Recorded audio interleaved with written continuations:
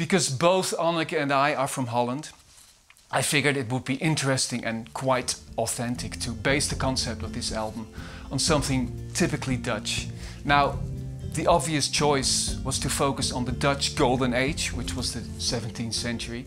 It was the most successful era for trade, science, and art in Holland. Uh, there's also a lot you can do visually with this concept. And as always, I wanted a beautiful package with great artwork. And I got it. The front cover was made by Alexandra Bach. And the artwork and layout inside was done again by the amazing Thomas Ewerhard, who did all my previous layouts.